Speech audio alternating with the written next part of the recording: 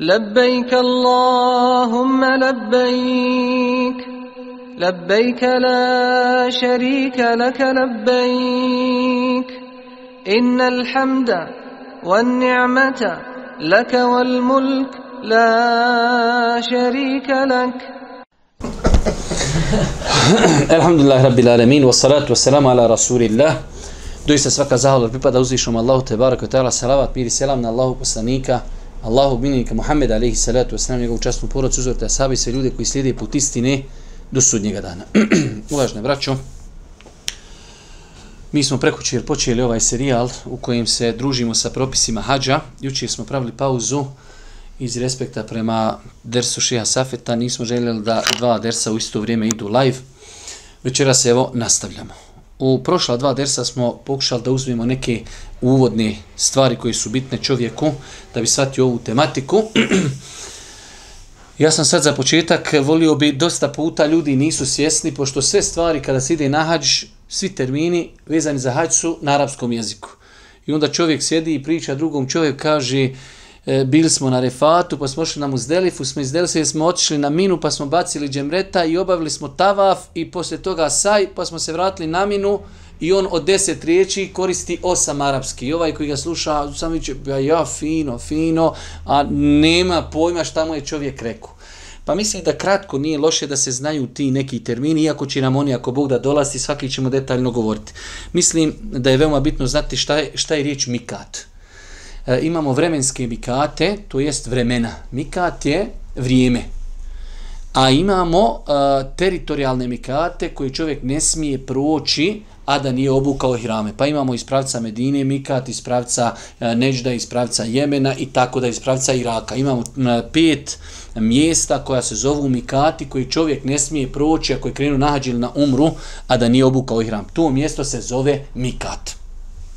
Uh, ihram, termin ihram, To su ona dva čaršafa bijela koja se e, oblače. Čovjek kada ulazi u hađijske ili umranske e, ibadete mora sa sebe skinuti sve i uzeti samo ta dva bijela platna i zamotati se s jednim dole, a sa jednim gore. Možda ćemo u zadnjem dersu, možda četvrtom dersu, ja ću praktično pokazati kako se najlakše nosi i hrami bez ikakvih bašlija, bez ikakvih kajševa na najjednostavniji način. Uglavnom tu, kada čujete riječ ihram, ihram je dva bijela ogrtača e, kojima se hađija e, ogrni kada je na hađu ili kada je na umri.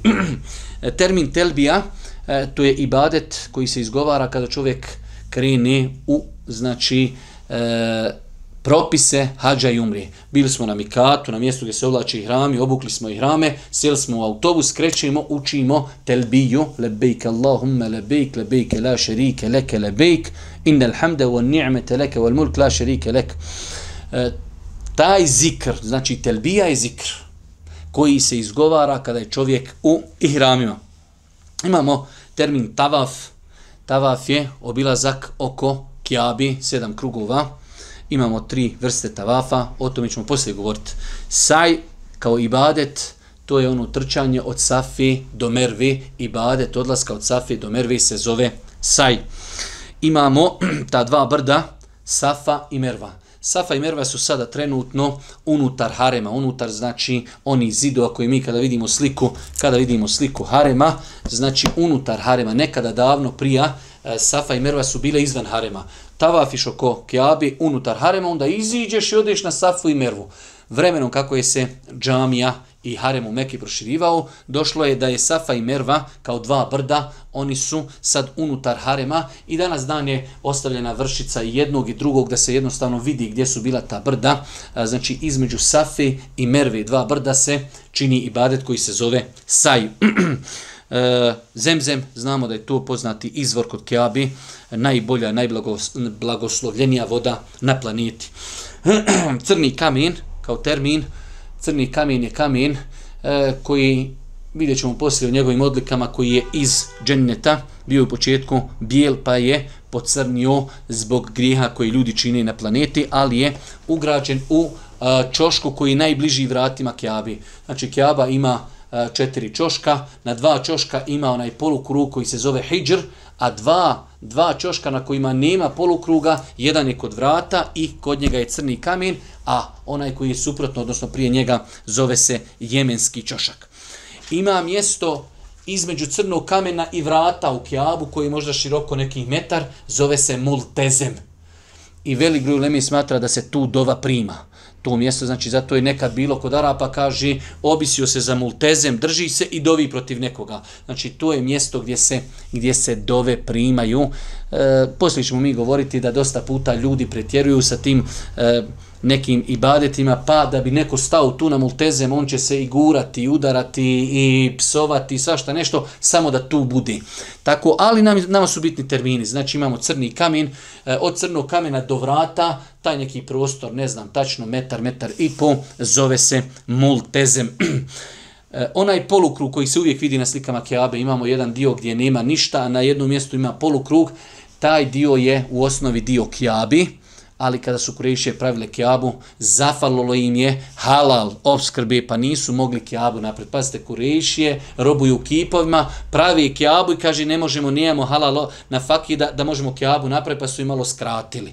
Ali su pazili od kakvog će imitka napraviti Keabu pa je onda napravljen taj, hajde da kažemo, e, polukružni dio koji označava da je to dio Keabi kada ljudi hađije, kada uđu u onaj polukrug i klanjaju kao da su klanjali, kao da su klanjali u Keabi, a opet je posebna priča kako ljudi tu ulazi, kako se guraju, kako klanjaju, to je nešto drugo. taj dio se zove hijđr.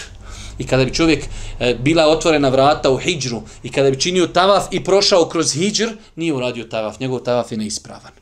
Znači, ako bi bila vrata, desila se otvorena vrata i čovjek kaže, gužva, idem ja ovdje proći pa ću malo popričiti, jer mi bosanci volimo uvijek malo popričiti, e, bio mu tavaf neispravan, jer obaveza da tavaf bude potpun jeste da čovjek tavafi oko kjabi. Čak na kjabi imate dole, skroz dole, kod kjabi imate konus jedan, znači bukvalno, čak u lema kaj kad je čovjek hodao po tom konusu, njegov tavaf nije ispravan. Jer tavaf je ibadet koji treba da bude okolo kjabi, a ne po čoškovima kjabi. E, imamo nakon toga termine, nekoliko termina vezani za hađ i da počnemo ako bude konkretno. E, tervija, dan tervije, to je osmi dan Zulhidžeta, deveti dan je boravak na refatu. Osmi dan tervija od, u arapskom jeziku znači od e, uh, arawa, jurawi uh, e, ili jarwi uh, e, napojiti nešto. Prija, znači to je bio dan kada se boravi na mini i taj dan su pojili svoje deve, pripremali vodu da mogu sutra deveti dan ići na refat, pa preko stra se opet vratiti. Pa se taj dan zove dan tervije, dan kao napajanja životinja, priprema za odlazak na refat, taj dan se boravi na mini. Od sunneta nije obaveza. E, nakon toga sutrašnji dan imamo dan boravka na refatu, a refat je jedna velika, jedna velika poljana, jedna velika poljana za koju Allah poslanik rekao el hađu arafe, hađi arefat. Što znači e, imate mnogo to i ti stvari u hađu ako napraviš i prekršiš ili preskočiš možeš i nadomjest. Osim arefata. Ako nisi bio na arefatu, nemoguće da je tvoj hađ ispravan. Ali generalno kad kažemo arefat, nekog šta li je arefat? Arefat je jedna velika poljana, ništa više. Jedna velika poljana koja se zove arefat. Nakon nje imamo jednu drugu poljanu, jedno drugo mjesto, znači ove stvari, Arefat, Muzdelifa, Mina, Harem, one su bukvalno u jednoj ovako crti. Zadnja je tamo Arefat. Pa sa Arefata krenemo ka, ka Haremu i dođemo na mjesto, opet jednu veliku poljanu koja se zove Muzdelifa. I zato mi neko prilike bio na Muzdelifi. Pa čovjeku, šta li je Muzdelifa, dželijem? Muzdelifa ništa, poljana. Koš kod nas kada je bio na Igmanu, pa na Bjelašnicu, e to je. Znači, to su imena, imena mjesta. Nakon toga imamo minu, mina je opet e, prostorno gledano najveći, najveći dio od svega toga, znači to je ona mjesta gdje imaju ni šatori, tu hađe boravi tri dana. imamo termin džemreta, termin džemreta, to su ona mjesta gdje se bacaju kamenčići, imamo tri džemre, džemre e, donje džemre, odnosno u pravcu e, od mini ka Meki, zadnje džemre je dole veliko džemre, prvi dan se baca samo na to džemre, a drugi, treći, četvrti dan se baca na prvo i drugo i na treći džemre. Ali uglavnom kada čujemo termin džemreta, to su ona mjesta gdje ljudi bacaju kamenčiće. I za kraj, i to će nam sad brzo trebati odmah na početku, e, slušamo dosta puta, kad je bio na hađu, pa ja obavio hađ ifrad, ja obavio kiran, ja obavio temetu, šta je sa to? E, znači, kada čovjek ide na umru, samo jedna umra, ne može se drugačije obavljati, osim da dođeš na mikat, obučeš i hrame, sa ihramima odeš u Meku, obaviš tavaf, saj, skratiš ili obriješ kosu i to je umra. Znači, umra ima samo jedna vrsta, jedan vrstan ibadeta, dok kada je u pitanju hađ, imaju tri vrste hađa. Imamo, čovjek je došao na mikat i obavljaće samo hađ. To se zove u arapskom od efrade, jufridu, ifrad. Nešto pojedinačno. Znači, on pojedinačno obavlja samo hađ. Došao čeka, hoće da obavim samo hađ. Ifrad. Glagol efrade, jufridu, nešto da bude pojedinačno. Samo je čovjek došao obavlja hađ. Ifrad. Imamo drugu vrstu hađa, to je qiran. Da čovjek obavlja hađ i umru zajedno. Znači, dijela koja bude obavljao za hađ, ona su mu ujedno i dijela za umru. Nima ništa posebno. Znači, on obavlja, samo na početku kaže gospodaru, ja obavljam hađ kiran i hađ i umru zajedno. I svako dijelo koje bude radio, onom se broji i za hađ i za umru. I ima treći, treća vrsta hađa, to se zove temetur. Temetur je obavljanje umri, dolazak u Meku, obavimo umru i skidamo ih rame. I to je taj period u kojem mi u Mekki uživamo. Nemamo nikakvih ihramskih zabrani, zato se zove ovaj hađ temetu kao hađ uživanja. Jer nismo bili u ihramskim zabranama, pa osmog dana on je tervije, kada krenemo na refat, oblačimo ponovo ihrame i obavljamo hađ. Znači prvo smo obavili umru, pa smo bili jedan period u Mekki bez ikakvih zabrana ihramski, onda osmog dana obučemo ponovo ihrame i idemo na hađ. Pa je temetu obavljanje umri, nakon toga hađ. Imamo ifrad, obavljamo samo hađ.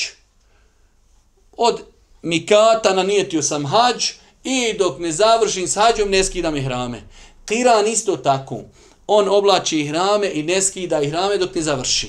Ovaj temetu, on obavi umru i skida ihrame. Zbog toga treba onda nakon toga da zakolje kurban kao jedan vid, hajde da kažemo, eto, neke sankcija koju bi mogli nazvati, što je bio u, Medi, u Mekki bez ihrama mora mora zaklati kurban. Iako i Kiran isto tako mora zaklati kurban. Ali ne bi vas time optorećavao mnogo, jer e, male su razlike u današnje vrijeme u tim, eh, hajde da kažemo, vrsta, vrstama hađa. Ali je bitno da znamo, kada neko kaže obavio sam hađ temetur, znači obavio je prvu umru, pa je skinuo ihrame, završio s umrom i osmog dana je ponovo obukao ihrame, krenuo u hađu. Ako kaže obavio sam ifrad, samo sam obavio hač, ništa više.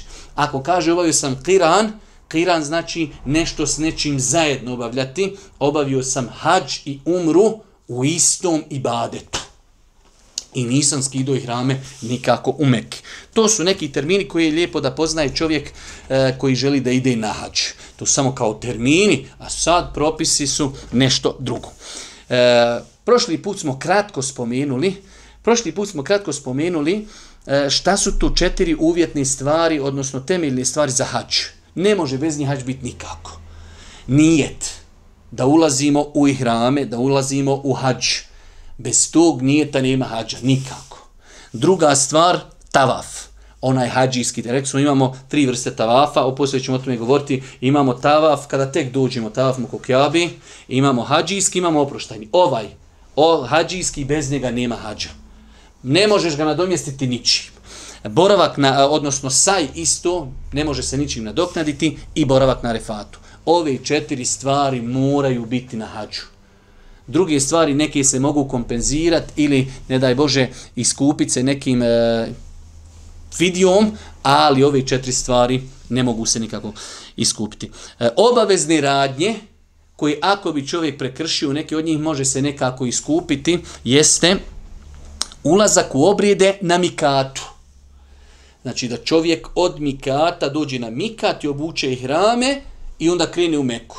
Što znači čovjek ako bi otišao, prošao mikat i tek negdje drugo obukao ih rame, može to ako Bog da nadomjestiti, ali pogriješio. Ali da ispuni vađib da na mikatu obuče hrame i hvala Bogu sve to hađije danas radi. Boravak na refatu do zalaska sunca. Sam boravak na refata dođeš, budeš 10 minuta, ispuniš si rukn. Ali da ispuniš vađib, moraš biti do akšama, do zalaska sunca.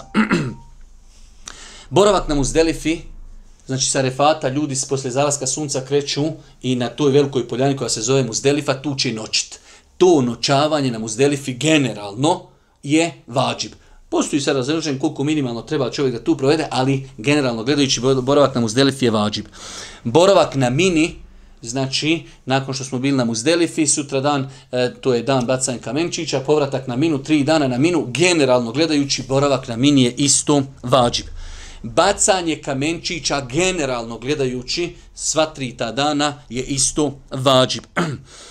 Mm, Brijanje i skraćivanje kosi, u tom prvom danu, znači kada je e, danas bio dan Arefata, sutra dan na dan Bajrama, e, bacamo veliko džemre, skraćivamo kosu, obavljamo tavaf, e, koljemo kurbane, to skraćivanje kosi ili brijanje je isto vađib.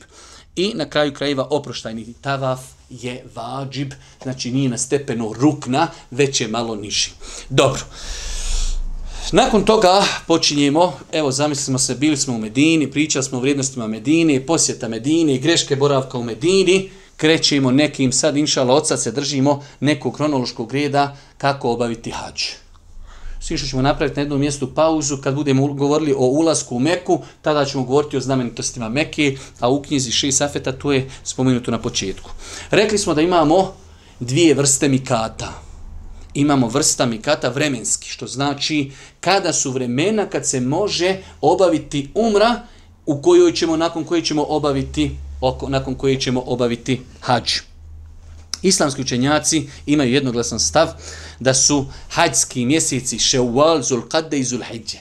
Da vas time znam da ove mjesece slabo znamo i tako dalje. U svakom slučaju Mi idemo većinom kad se ide na hađ, ide se avionom, dolazi se pred sami u mjesecu Zulhidžetu i tako dalje. Ovi mesele su i pitanja više potrebna bila u prijašnja vremena. E, nakon toga da, da, da, da onaj, ne, ne umaramo se tim pitanjima pošto nisu nam ta pitanja nešto praho praktična. Imamo prostorne mikate koji su nama i kako bitni. Prostorni mikati, rekli smo, Meka je jedino mjesto na svijetu koje Allah odlikovao kada hoćeš urati određeni bade da ne možeš doći ti tamo na ibad kako ti hoćeš. Već znači, čak ovaj medinski mikat je najdalji. Meka, uzmite znači Meku, iz četiri pravca pet se može doći. Ovaj pravac iz Mekke, iz Medine je 410 km od prilike, mikat udaljen od Mekke.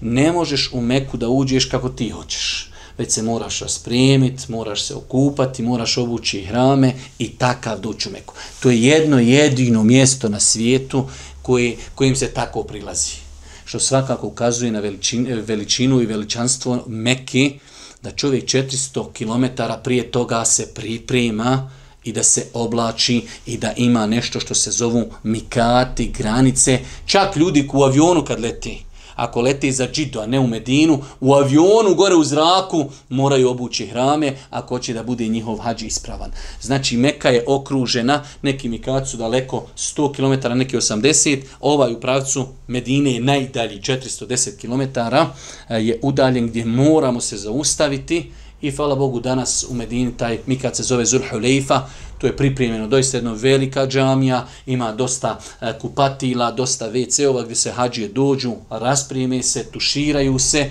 obuku i hrame, sjedaju u autobuse i idu, idu ka Mekki. znači, mikad preko kojeg mi prelazimo u većini slučajeva kada dolazimo iz Medine zove se Zulhulejfa. E, Zulhulejfa je iz Medine prema pravcu Mekke oko 14-15 km.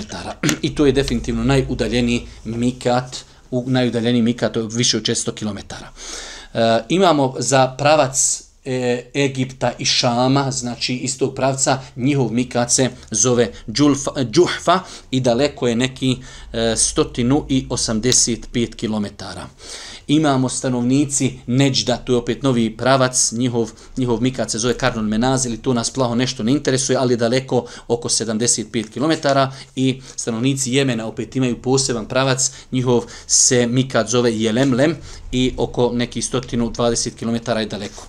Ima e, za Irača, ne i ljude koji dolaze iz tog pravca, mikat se zove Zatu El Irq, Postoji različite, sada s time opet ne umaram, inšala nema nikakve velike koristi oko toga, a to je da li je poslanik taj koji je odredio taj mikat zatu el irq ili omer.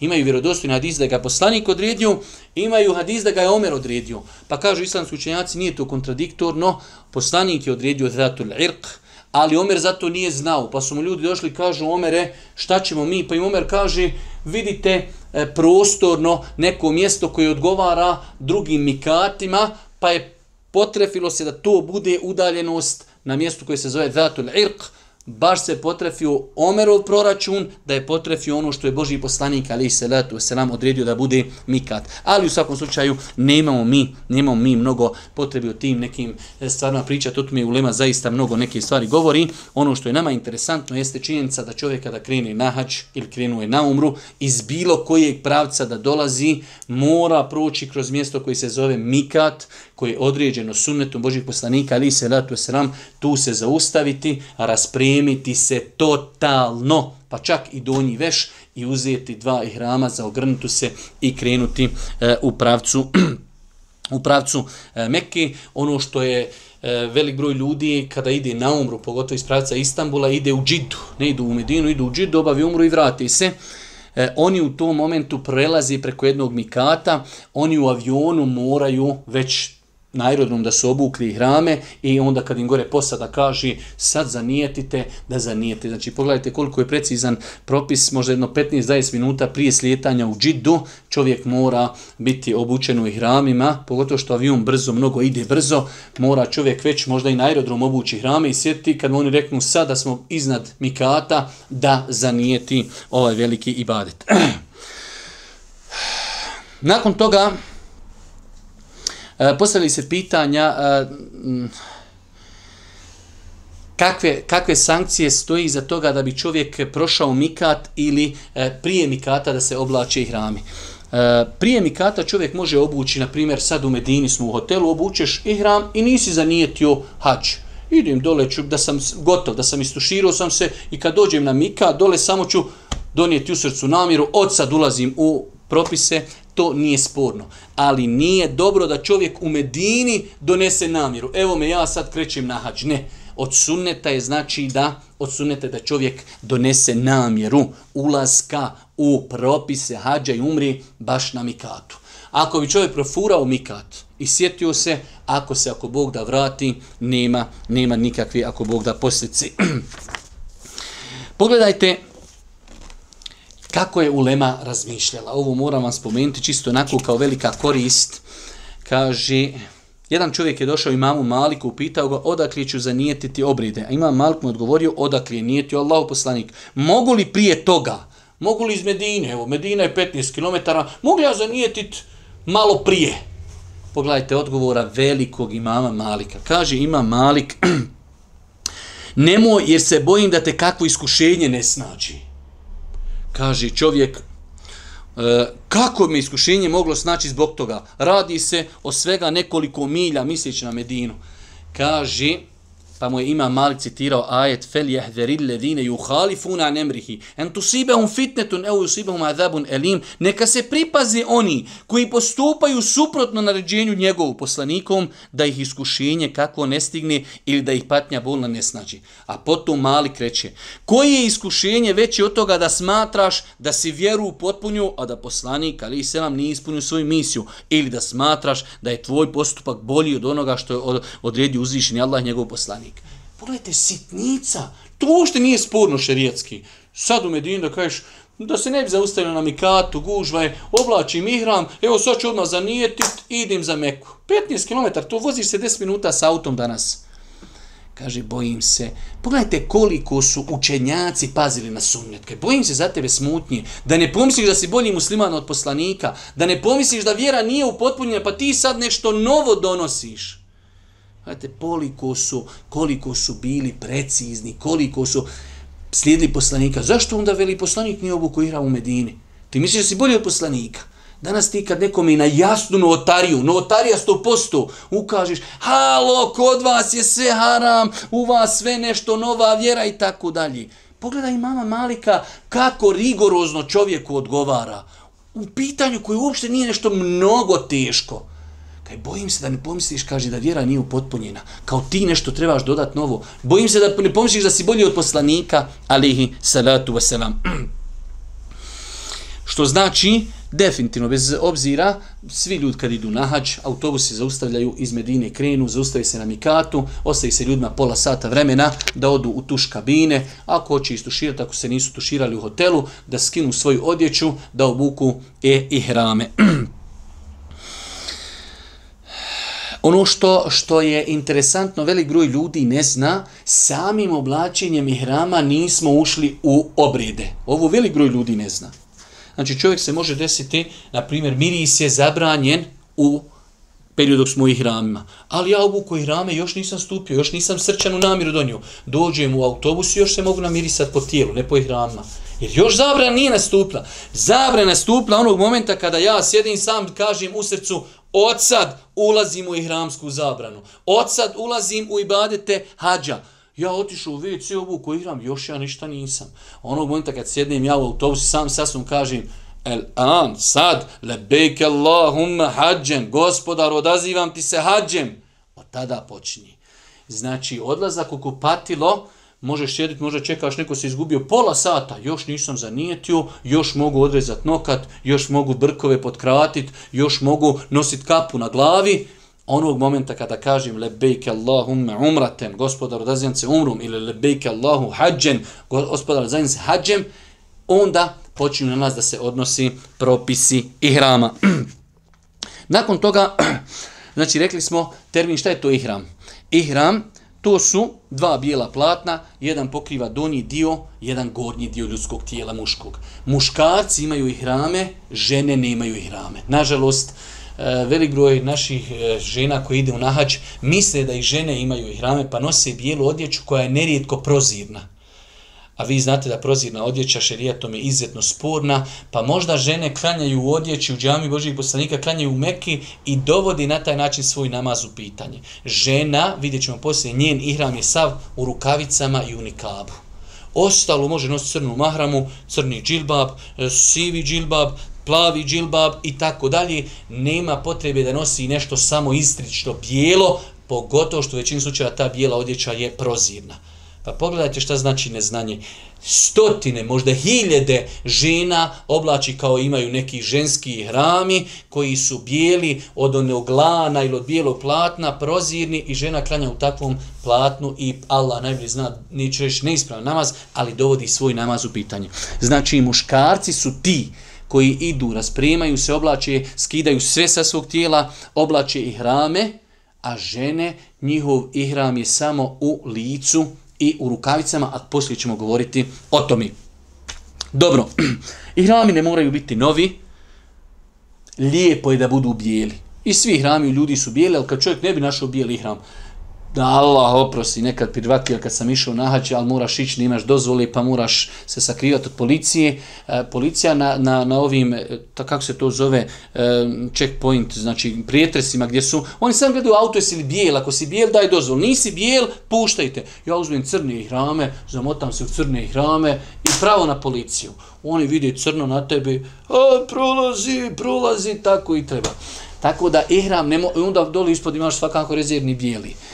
E, ihram ne mora biti bijel, ali od sunneta da bude bijel, ali ovo govori iz razloga da se djevci, a inšal ne teško se desiti, čovjek ne može naći bijel ihram, nađe komad platna, plavog, zelenog, žutog, bilo kakvo platno da se zamota, njegov inšala ihram je ispravan, apsolutno. Čak ne mora biti nov, čovjek kreni na hađ, prošle godine neki hađa išao na hađ, ima ihrame, jer se ti ihrami koriste dan, dva, oni su novi uzmeš od nekog ihrame, nije ništa sporno. Šta je lijepo uraditi prilikom ihrama? Prva stvar, ku, okupati se.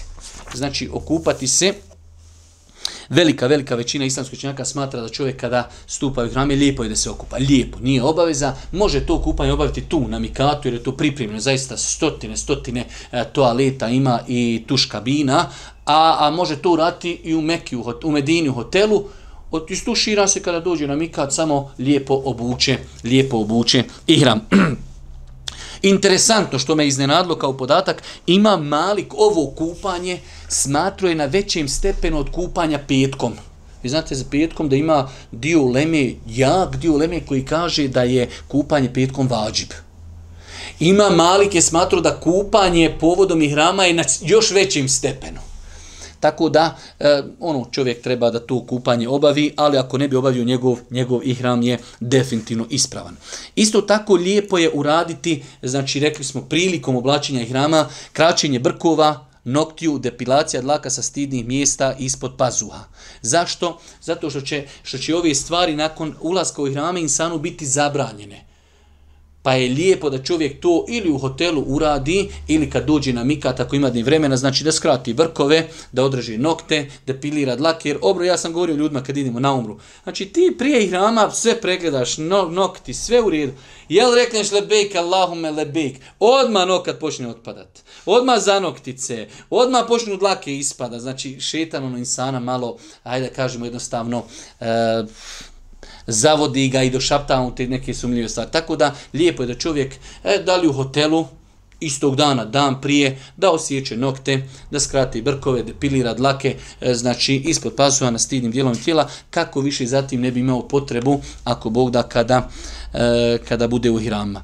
Lijepo je se, i to je preneseno od Božih poslanika, ali se ratu se nam, da čovjek se prije ihrama namiriše tijelo, da namiriše kosu, da namiriše bradu i tijelo ne ihrame. Ihrami se ne smiju mirisati i onog momenta kada donesemo namjeru da smo ušli u ihrame, tada nam miris postaje zabranjen.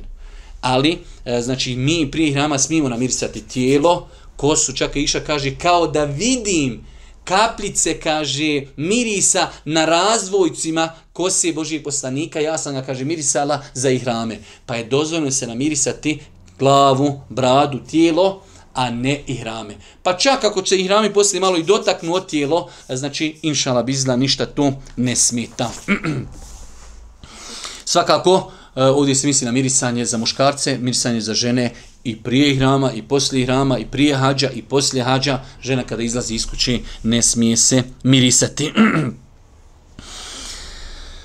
E, rekli smo, nažalost, imate ljudi koji neke stvari ne mogu da prihvati, da su takvi stari čovjek, 60 godina, se čitav život e, nosa donji veš, kao ja ne mogu bez donjeg veša, ja to moram nositi. Znači, pravilo je da čovjek, znači, kad su u pitanju hrami, treba skinuti sa sebe svu odjeću. e, što se tiče obuće, Muhri može nositi papuće, i može nositi sandale. Ono što mi imamo, oni sandale koji se lijepe, inšala bizna, nema ništa sporno u njima, da čovjek i možda čak i e, praktičnije su od papuća, praktičnije su od papuća, e, ili papuće ili sandale se mogu nositi. Poslije ćemo govoriti, e, vidjet ćete, velik broj umeta, ne samo bosanci, već umeta, smatraju da stvari u kojima ima prošiveno nešto, kao konac, da se to ne smije oblačiti u hrama što nema nikakve osnove u knjigama e, Islama. Već su to ljudi tako naslijedili, pa onda čovjek dođe i kaže, e, papuće su mi prošivene, smijem li nositi?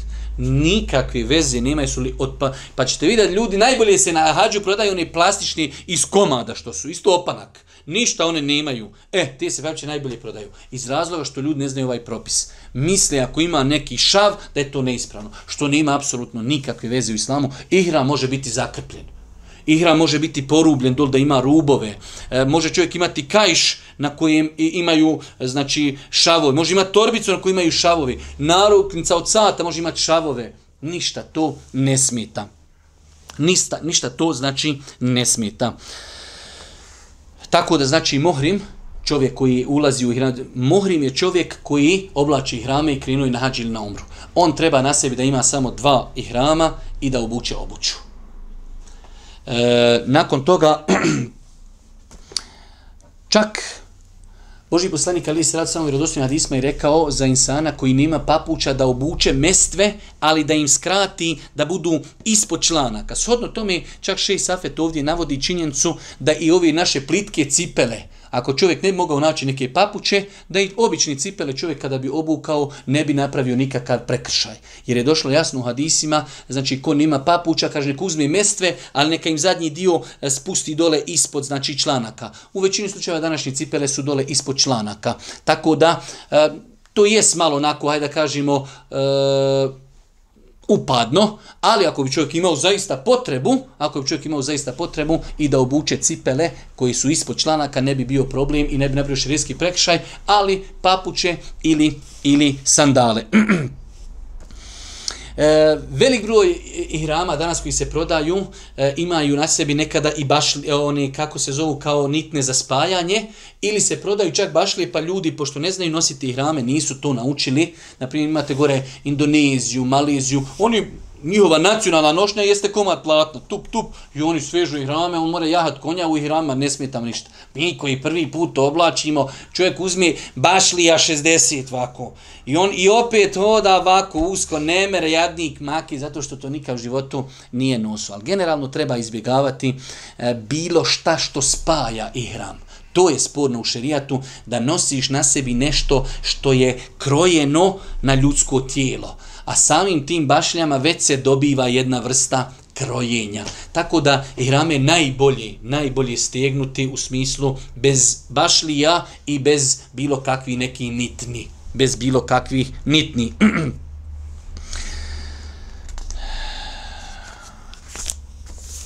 Nakon toga, mi smo, evo, zamislimo, krenuli smo iz Medine, inša Allah, krenuli smo iz Medine, e, neko će nam održati neki govor do Mikata, pojasnit ćemo ove propise, dolazimo na Mikat, izlazimo iz autobusa, uzmemo svoju kesu, idemo u toalet te boksove, skidamo odjeću, obukli smo ih rame, prije toga smo odrezali nokte, skratili brkove, depilirali dlake, dolazimo u autobus, namirišemo se i tada, tada, hajde da kažemo, e, tada donesemo tu formu i kažemo lebejk Allahumma hađem, gospodaru odazivam se hađem i od tog momenta počinju zabrane.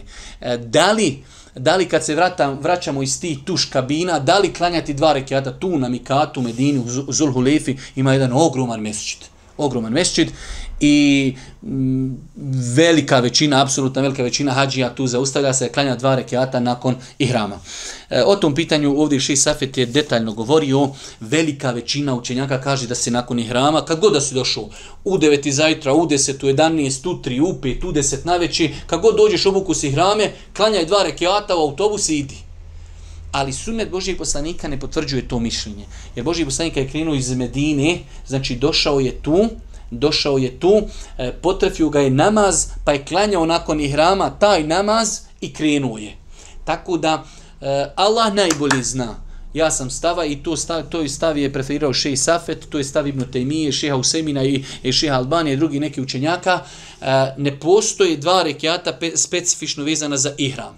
Ako bi čovjek klanju nije nešto napravio nikakav prekršaj, e, velika, apsolutno velika većina u Leme kaže da se nakon ihrama klanja i dva rekiata ako bi čovjek klanjao, nije pogriješio. Ali ako hoće baš da se drži sunneta Božih poslanika, ako je nastupilo neko namasko vrijeme, podni namaz, hajmo klanjati podni namaz, dva rekiata, imamo autobus po meni to najispravnije. Ako se zadrefilo namasko vrijeme, klanja dva rekiata, ić. Mimo toga obučem i hrame u autobus idem. Ali, ako neko klanja, znači velika, apsolutna velika većina islamskih učenjaka, umeta, historije, govorila je da se klanjaju ta dva rekiata, iako gledam s aspekta dokaza, dokazi su u, u, za to mišljenje slabi. Nakon toga,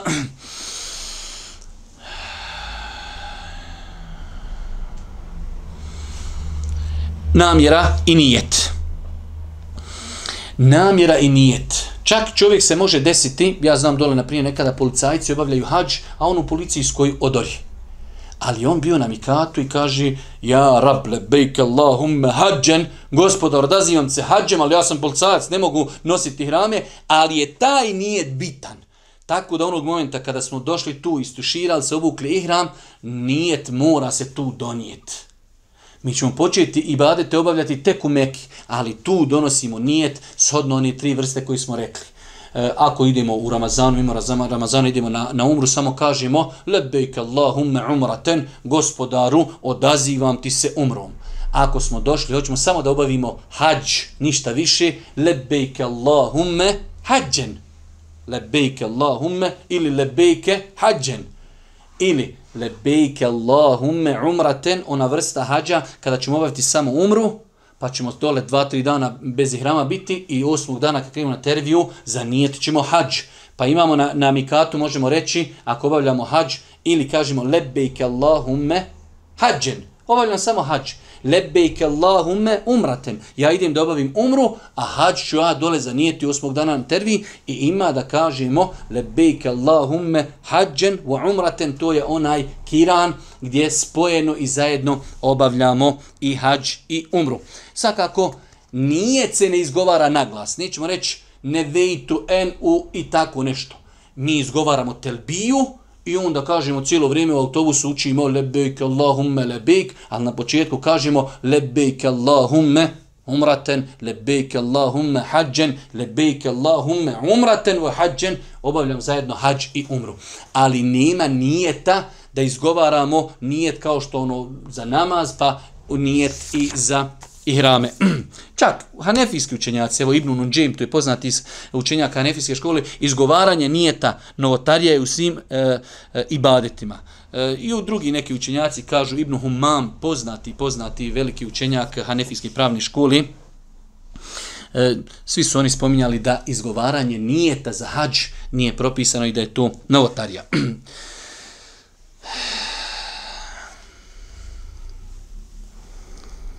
Imamo ovdje jedno bitno pitanje, pošto sam ja bio dosta puta vodič, pogotovo za umre, žene koje su došle na Mikat, a u Hajzusu. I onda žena kaže, znaju žene da neće moći kada dođu u Meku obavljati e, tavaf, ni hađ, mora će čekati da se očiste, kao neće ani nijetit. Žena mora tu na, na Mikatu donijeti namjeru. Lebejke Allahumme hađen Ja, rab, odazivam ti se hađom, lebejke Allahumme umraten, gospodar, odazivam ti se umrom. Mora ona ući u hađ, u, u, odnosno u nijet, mora donijeti nijet da je krenula. Na nju se odnose ihramske zabra, ne smije nositi rukavice, ne smije nositi nikab, ali ona kada dođe dole neće ništa obavljati dok se ne očisti. Ali to što neće dole ništa obavljati nije razlog da ne uđe u, u propise i time se napravi velik broj žena napravi grešku, pa ono ja nisam čista, ja što dole. Pa se znači mora donijeti namjera na mikatu bez obzira bila žena čista ili bila žena u mjesečnici isto moraju donijeti namjeru i na njih se isto odnosi i hramski zabrane. e, određen broj ljudi E, možda vi to niste primijetili, ali čovjek kad ide na hađ vidi mnogo nepravilni postupak, zato što smo rekli, kad smo tek govorili prvo, predavanje, neznanje. Čak su neki učenjaci govorili, ako hoćeš da vidiš neznanje umeta, dođi na hađ. Pa ćeš vidjeti što ima. Pa imate ljudi kad dođu na mikat, obuku i hrame i odmah otkriju desno rame, e, što nije propisano. Čovjek treba i hrame obući preko ramena kad dođe da obavlja prvi taj tavaf koji se zove pozdravni tavaf, tada će otkriti desno rame. Pa znači otkrivanje desnog ramena nije propisano na mikatu. nakon toga, nakon ulaska u hađijske obrijede izgovara se telbija. Telbija je u stvari vid zikra koji uči hađija i oni koji obavljaju umru. Telbija je znači zikr koji se uči, e, došli smo, sve nekim redom. Iz Medine došli na mikat, obukli hrame, e, sjeli, zanijetili, propisano je znači što više od Mikata do Mekke i u tim danima sve do bacanja prvog džemreta, prvi dan, dan Bajrama, to negdje bude nakon sabah 8-9 sati, sodno kako stigne. Znači sve do tada je propisano da čovjek što više zikri, spominja Allaha, između ostalog da uči telbiju. E, Allahu poslanik izrekao dosta hadisa e, u, u pogledu vrijednosti telbije, mi se nećemo mnogo e, zadržavati oko toga, izgovaranje telbije vodi izravno u džennet. Isto tako sve na zemlji izgovara telbiju sa muhrimom. Kad čovjek naiđe nekim putevima, e, znači izgovara telbiju sa njim zajedno, iako mi to ne vidimo, ne čujemo, ali vjerujući u hadise Božih poslanika, ali se ratu selam, sve zajedno sa njim donosi telbiju. Također potvrđeno hadisma da izgovaranje telbije je jedno od najboljih dijela. E, postoji postoje više vrsta telbije, e, ali ona jedna od najrasprostranjenijih koju je prenio Abdullah ibn Omer od Božijeg poslanika, jeste ona poznata lebejk Allahumme lebejk, lebejk la šerike leke lebejk, innel hamde wa ni'mete leke wal mulk la šerike leke. To je neka vrsta telbije koja je najrasprostranjenija, iako postoje i neke druge vrste telbije. E, vrijeme učenja telbije, telbija se uči nakon donošenja nijeta i nakon što se sjedne u prijevozno sredstvo. E, neće se počinjati sa učenjem telbije dok ne sjedne u prijevozno sredstvo i prijevozno sredstvo kreni tada, znači donosimo namjeru i tada počinjemo sa učenjem telbije. ono dodatno, kada je lijepo, telbiju uvijek lijepo učiti, ali kada se spuštamo u neke doline i znači s nekog brda, autobusom se spuštamo u neku dolinu, tada je lijepo dodatno učiti telbiju. Prilikom odlaska na refat, da li pješci, da li autobusom, lijepo je što više učiti telbiju. kada se kreni sa refata, pa sve do bacanja kamenja, znači sa refata se kreće sa akšama, pa će se noćiti na muzdelifi, pa se sutra dan ide bacati to veliko džemre i taj dan se, znači, brije glava, skidaju se i hrami. Sve do bacanja džemreta tog dana propisano je da se što više telbije uči.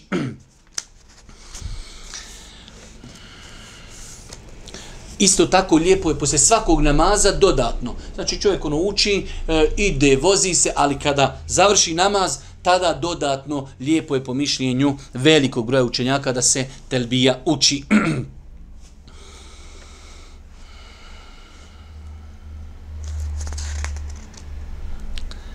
Nakon toga, što se tiče muškaraca, pohvalno je da se uči telbije na glas.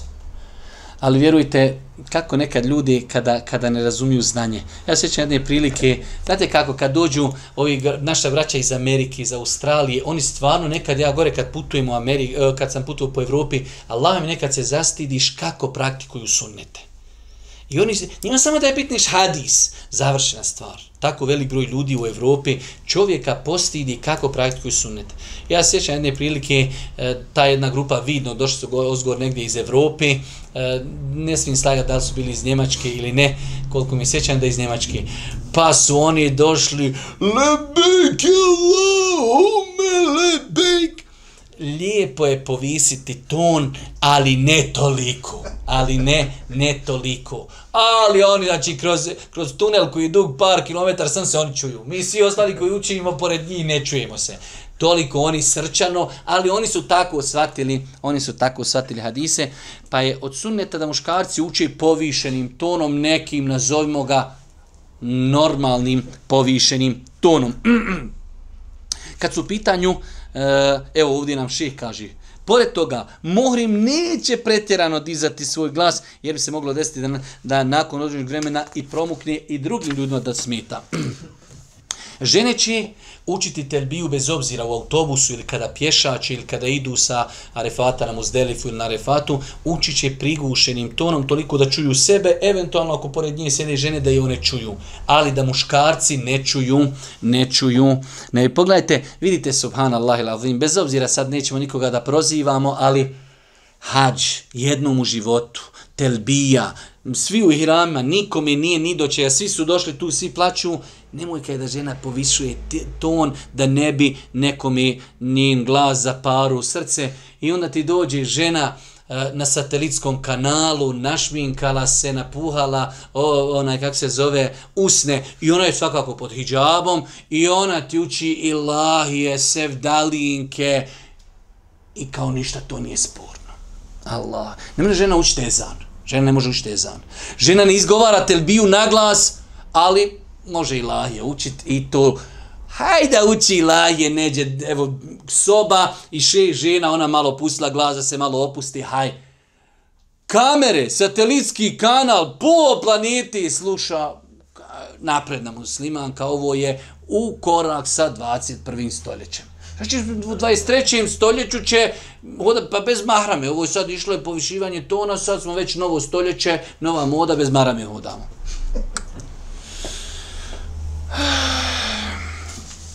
Pohvalno je da znači uz izgovaranje telbi, kako smo napomenuli, čovjek i rekne koji obrid obavlja i mi smo to spomenuli, imamo tri vrste hađa i čovjek treba već od onog momenta kad boravi u Medin da odredi šta će. Hoću samo obavljati hađ, pa da kaže lebejke, hađen, gospod da se hađem, ili da kaže lebejke, lebejke Allahumme umraten, idem prvo na umru, to je taj temetu, pa ću dole nastaviti hađ, ili da kaže lebejke umraten u hađen, ili hađen u umraten, zajedno ću obavljati hađ i umru. ono što ja znam da je to malo i poteško, ali nije propisan se telbija izgovara zajedno. Ja znam kako je najljepše i najlakše, nije najljepše, najlakše izgovara telbiju zajedno. Ljudi u autobusu, sam kad jedan krene, ko što se im ne poredeći, kad je onaj u avionu ono pjevo gori krilo našeg aviona. E, najlakše je telbiju učit svi zajedno. Lebek, Allahumme, lebek. I onda svi. Lebek. Ali nije propis. Znači, najbolje je da svak za se pojedinačno uči iako je to onako tehnički teže malo izvodljivo. Ako bi se ljudi e, ne dogovarajući zajedno učili, inšala, inšala nije to nešto sporno. Telbija se uči isključivo na arapskom jeziku. Nakon toga sad u tom periodu dok smo mi u ihramima, bit ćemo, znači ovaj čovjek koji obavlja samo hađ, on evo neke krenuo dva ili tri dana ranije prije Arefata, on će znači od Mikata doći u Meku, biti jedan dan, dva dana, pa Tervija, pa Arefat, pa sutra dan bacanje kamenća, četiri, pet dana će biti pod ihramima. U tom svom periodu ima neki zabrane ovaj koji će obavljati samo umru, pa će skinuti hrame, pa će osmi dan obući hrame, sutra dan bit će na refatu, prekustra će skinuti, on će opet biti dva dana u hrama, ali veoma je bitno da hađija koji ide na hađ zna šta su tu ihramske zabrane. Šta je tu u periodu dok sam pod ihramima je e, zabranjeno. Pazite, ja sam prošli put ovdje to rekao. Ljudi nisu svjesni. Ko što mi dođemo u džamiju, ja sam bio u džamiji. Čovjek može doći u džamiju i ne uzubila gleda u nebo, kako je rekao Boži poslanik, i da ga, da ga meleki proklinju. Pretekne imama, Allah poslanik kaže, ili ćete prestati predstati imama, ili će vas Allah pretvoriti u magarce. Nije samo sam došao u džamiju, apsolutno mi je sve ispravno. I nahađ. Čovjek krenuo nahađ, ne zna šta je zabranjeno rama, spava sa ženom, pet prekršaja. Počinio haram pokvario hađ. Pokvario hađ. Mora ga do kraja obaviti. Makar da kažu, hajde, vrat se kuć. Ne, ne, ne, ne, do kraja ćeš ga obaviti. Mora doći sljedeći godini. Mora zaklat kurban. I mora se pokajati. Jedna, jedan greška. Pet stvari. Uradio haram. Pokvaren hađ. Mora ga nastaviti. Mora sljedeće godine doći i mora kurban zaklat. I to ponekoj ulemi deva. Brate, pet gre, a samo jedna greškica. Greškica. Pa je veoma bitno, zato ima ljudi, ja sam slušao ono neka šehovima dođe, pa še je bio za ihrama kad je uradio to, uradio to, uradio to, uradio to, i kad je dole jedno stado ovaca po kolji, valjda će se to nekako nadomjestiti. Divič, deva dole, šta će se poklat zbog te nepažnje. Pa, znači, šta su to ihramske zabrane? Kad se kaže ihramske zabrane, šta je to čovjeku zabranjeno dok je u periodu ihrama? Hajde, ako ništa, da inšala obradimo ovu prvu, pa ćemo tu se i zaustaviti, inšala. Iako sam očekivao da ćemo noćas malo brže ići, ali hajde, nahajde, inšala. Prva stvar, znači, intimni odnos i naslađivanje tijelom supruge, znači e, bilo kakvo intimno naslađivanje. Zabranjen je intimni kontakt, spolni kontakt, odnos, a zabrajno i sve što njemu vodi. Čak Ulema kaže i razgovarati sa ženom, e, da kažemo neki ljubavni razgovor je zabranjen. Sve što, što bi moglo dovesti na kraju do intimnog kontakta je zabranjeno. Ali definitivno najviše je zabranjen intimni kontakt i ako se to uradi, videli smo kakvi pet prekršaja čovjek mora da uradi.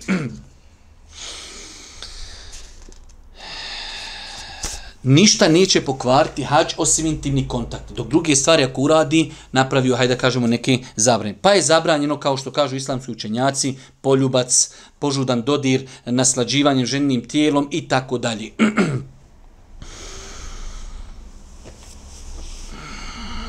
Ima čak razilaženje jako kod ulemi ako bi čovjek u zaboravu spavao sa ženom. Zaboravio čovjek. Eto, čovjek zaboravio da je na hađu, ima i takvi. Zaboravio da je na hađu, Velik broj učenjaka kaže da mu je hađ pokvaren. Iako Šiju Semin generalno ima pravilo, kaže sve što se uradi u zaboravu, inša čovjeku nije, ne poteže sasvim na ispravnosti badeta. Ali većina uleme kaže u zaboravu, što ti nije bilo na um, brate, pokvaren hađ.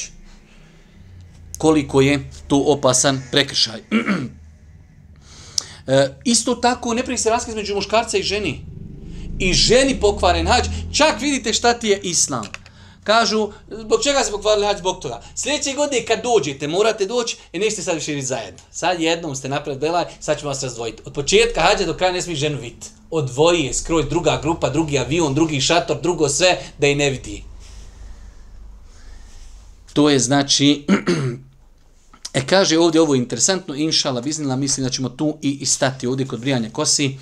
E, kad kažemo islamski učinjaci ne pravi razliku između muškarca i žene, u, odno, u pogledu ovoga ako bi imali intimni kontakt i mužu pokvaren hađ i ženi pokvaren hađ, e, žena i muškarac se na hađu razlikuju nekoliko stvari. Ovo je lijepo znati. Muškarac i žena se razlikuju na hađu nekoliko stvari. Prva stvar, muškarcu je zabranjeno oblačiti skrojenu odjeću, muškarcu je zabranjeno skrojenu odjeću, ženi nije.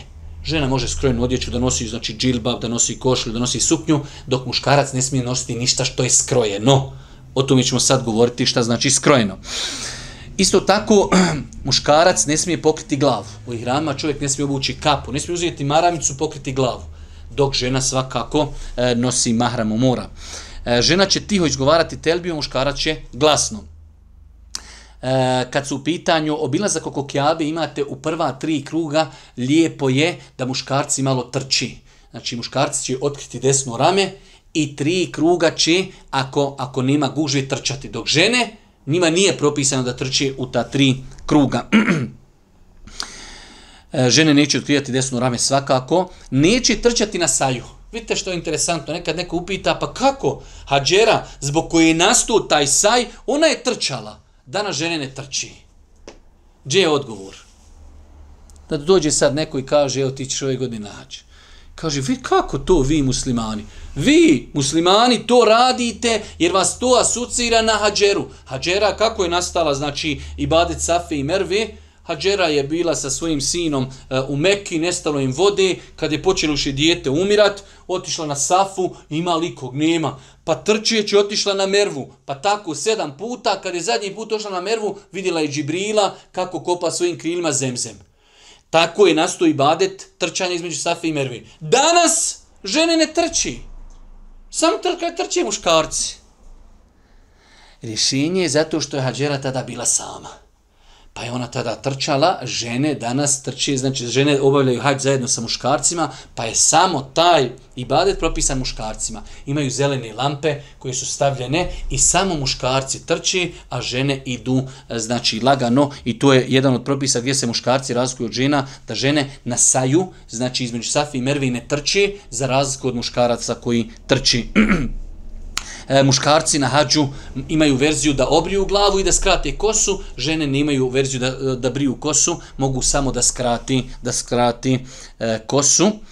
E, I e, muškarci ne mogu nikako biti u situaciji, ne mogu obaviti oprosni tavaf, za razliku od žena koji ako su mjesečnici ne obavljaju oprosni tavaf, onaj tavaf koji su obavile, hajde da kažemo, hađijski im je dovoljan. Ovdje ćemo se ako Bog da, e, ovdje ćemo se ako Bog da zaustaviti, znači govorili smo samo, govorili smo samo o jednoj stvari, e, šta je čovjeku zabranjeno hirama, a to je zabranjen intimni kontakt i rekli smo šta preuzilazi iz toga i zabranjeno je sve što vodi intimnom kontaktu. Ispunili smo evo na kraju e, nekoliko veoma, veoma interesantnih stvari u čemu se na hađu razlikuju muškarci i žene. Ovdje ćemo se ako Bog da zaustaviti. Subhanak Allahumma da bihamdike, šedun la ilaha ilan stakfiruke, ve tubu ilik.